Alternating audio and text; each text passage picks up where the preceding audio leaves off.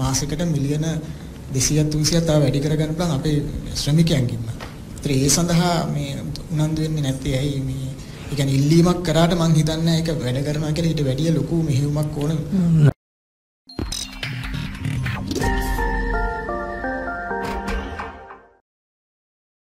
ඒක ධර්මයක් කරන තමයි දැන් දැන් පළවෙනි කාරණේ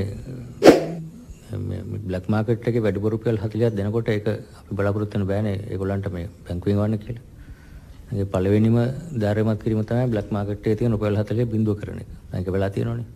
එතකොට ඒගොල්ලන්ට දැන් තියෙන choice එක තමයි අවදානමක් කරන් එහෙම කාකෑර සල්ලි දීලා වෙනවාද එහෙම නැත්නම් බැංකු ක්‍රමය තුලින් වෙනවාද කියන එක. එතකොට දැනටමත් යම්කිසි ධෛර්ය දීමක් දීලා තියෙනවා. දෙවනි ධෛර්යම තමයි කලින් රුපියල් 200ක් හම්බෙච්ච එකට එයාපු ඩොලර් එකට දැන් රුපියල් 360ක් ලැබෙනවා. එතකොට ඒක සෑහෙන ප්‍රමාණයක වැඩිවීමක්. දැන් ඒකත් දීලා තියෙනවා. එතකොට අනිත් ඊට අමතරව ඔබතුමා කිව්ව කතාව හරි. එතකොට මිලියන 200 දැන් අපි දකින්න ඔය මිලියන 600ක් විතර මාසයකට ආපු එකෙන් අඩු වෙලා යම් කිසියක වැඩිවීමක් අපි දකිනවා. කොටසක් තමයි අර බ්ලැක් මාකටෙන් ගිහිල්ලා ඔය නන් එසෙන්ෂල් ඉම්පෝර්ට්ස් වල ගිහිල්ලා පාවිච්චි කරලා තියෙන දම අපි ඒක නවත්තලා තියෙනවනේ. එතකොට මේක අනිවාර්යයෙන්ම මේක ඇතුළට එන ක්‍රමයක් දැන් තියෙනවා. මේ අනිත් එක තමයි අපි දැන් උතුම් කිව්ව එකක් විදේශ විනිමය ඉපීමේ මාර්ගය වැඩි කිරීම තමයි දෙවෙනි කාරණය. එතකොට එතින් බැලුවොත් අපනයන වලින් හම්බ වෙනවා මාසෙකට ඩොලර් බිලියනයක්. ඒතර ඒ බිලියනය බිලියන 1.2 කරොත් එතරම් මිලියන 200ක් නිකම්ම වැඩි වෙනවා. ඊට පස්සේ අර මේ IT services ship මේ නැව් සේවා වගේ ඒවා සංචාරක ව්‍යාපාර ඉදිරියේදී සාර්ථක වුණා. ඒ වයින්ුත් ඒ හැම එකෙම යම්කිසි ආකාරයක විදේශ විනිමය උපයම වැඩි කිරීම තුළින් තමයි මේ ප්‍රශ්නේ විසඳ ගන්න පුළුවන් වෙන්නේ. අපතුමාගේ විදිහට කෙටි සහ දීර්ඝ කාලීන. එතකොට කෙටි කාලීනව කොහොමද වැඩි කරගන්නේ කියන එකක්. ඊට පස්සේ දීර්ඝ කාලීනව කොහොමද මේක වැඩි කරගන්න කියන එක දෙවෙනි එක. එතකොට කෙටි කාලීන වැඩි පිළිවෙල තමයි බලාපොරොත්තු වෙන එහෙම පිටින් එවන රෙමිටන්ස් විතර නෙවෙයි එක්ස්පෝර්ට් එක්ස්පෝර්ටර්ස්ලාත් ඒගොල්ලෝ සල්ලි ගොඩක් කලාවට පිටින් අරගෙන වෙන කාට හරි විකුණන ක්‍රමයක් තිබුණා. එතන මීට වැඩි වැඩි ප්‍රමාණයක් එළියට ගිහිල්ලා තිබුණා. ඒ ප්‍රමාණය තමයි දැන් මේ ඇතුළට අරන් අරන් තියෙන්නේ.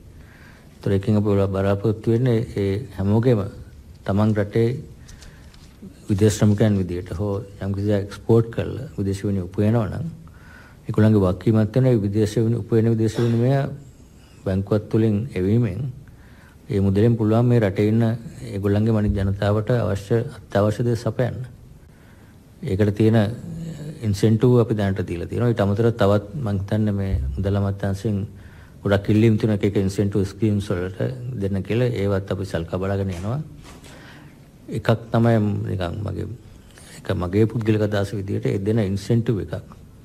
කෙනෙක් පිටරට ගිහිල්ලා වැඩ කරලා මුදල් උපයලා මෙහාට වෙන එකට මේ වගේ විනිමය අනුපාතයෙන් ඉන්සෙන්ටිව් දෙන්න පුළුවන්. නමුත් අපේ මේ රටේ බදු ගෙවන ජනතාවගේ මුදලින් ඉන්සෙන්ටිව් දෙන්න අවශ්‍ය නැහැ. ඒක වැරදි ක්‍රමයක් මගේ අදහස විදිහට. මොකද හේතුව එයා විදේශෙට ගිහිල්ලා වැඩ කළා මුදල් ලබන තමන්ගේ පවුලේ අයට. ඒතර ඒ මුදල් වලට කිසිම බද්දක් නැහැ. බද ගෙවන්නෙත් නැහැ. ඒ රටේ බද ගෙවන්නේ නැත්නම් මේ රටේ බද ගෙවන්නේ නැහැ. ඒ වගේම තමයි මේ රටේ ඉඳගෙන ඒ වගේම වැඩ කළා ජනතාවක් තමන්ගේ පවුල් වලට උපයන ආදායමෙන් පවුල් නඩත්තු කරනවා. ඒගොල්ලෝ ගෙවනවා බදු. ඒතර ඒගොල්ලෝ ගෙවන බදු සල්ලි වලින් අරයට ඉන්සෙන්ටිව් දෙන්න කියන එක මම හිතන්නේ වැරදි ප්‍රතිපත්තියක්. ඒක ගොඩ දෙන සාකච්ඡා කරන්නේ ඒගොල්ලන්ට වාහන පර්මිට් දෙන්න එක එක ෆයිනෑන්ෂල් ටැක්ස් පේයර්ගේ බදු ගෙවන මුදලෙන් ඉන්සෙන්ටිව් දෙන එක ඒක වැරදි ප්‍රතිපත්තියක් මම දකින විදියට. ඉන්සෙන්ටිව් දුන්නා කමනේ එයා හඳුනා ගන්නවා මෙයා පිටරට ගිහලා විදේශ වුණේ ඒවල තියෙනවා. එයා ඔයාට යම්කිසි ආකාරයක ඩීටු ෆ්‍රී අලවන්ස් එකක් ඕනක් දෙන්න පුළුවන්. ඒ වගේ දේවල් කරන්න පුළුවන්. ඔතේ හැම එකෙම ඩීටු ෆ්‍රී අලවන්ස් එකක් කියන එකත් කියන්නේ මෙහි ඉන්න කෙනෙක්ට ලැබෙන්න තියෙන බද්ද තමයි අපි එයාට දෙන්නේ. ඒතර දැන් ඔයා ගෙවන බත් ඕගොල්ලෝ ගෙවන බද්දෙන් තමයි අපි ඒක ගෙවන බදු ගෙවන පුද්ගලයා අර ඒ වෙන පුද්ගලයාට බදු නොගෙන පුද්ගලයාට දෙනවා ඉන්සෙන්ටිව් එකක්. ඒක මම හිතන්නේ ඒක ඒක බැලුවාම තියෙන පොඩි ප්‍රශ්නයක් ඒ මම දකින විදිහට. ඒ නිසා තමයි ඔය ගොඩක් ඒවා මම දකින්නේ දේශ විනිමය ඔය පිටරට ඉන්න අය කතා කරාම හැමතිස්සෙම ඉල්ලන දැන් අපි සල්ලි වන්නම් අපට දෙන්න ඩියුටි ෆ්‍රී කාර් පර්මිට් එකක්. එහෙම නැත්නම් තමක් හරි එකක් ඉල්ලනවා. ඉල්ලීමෙම කරන්නේ එයා සල්ලි හම්බ කරලා සල්ලි එවනවා තමන්ගේ පවුලට. ඊට අමතරව මෙහෙ බදු ගෙන කෙනා එයාට තමක් කර දෙන්න කියලා කියනවා. ඒක අසාධාරණ දෙයක් නේද? તો මෙහෙ බදු ගෙන කෙනා මෙහෙ බදු ගෙවලා තමයි එයත් ඒ විදිහටම උපයලා තමයි ඒ තමන්ගේ පවුල වලට මුදල් ගෙවලා ඒ දෙක කරගෙන යන්නේ.